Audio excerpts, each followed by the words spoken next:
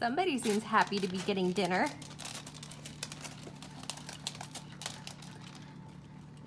After he walked through the water bowl.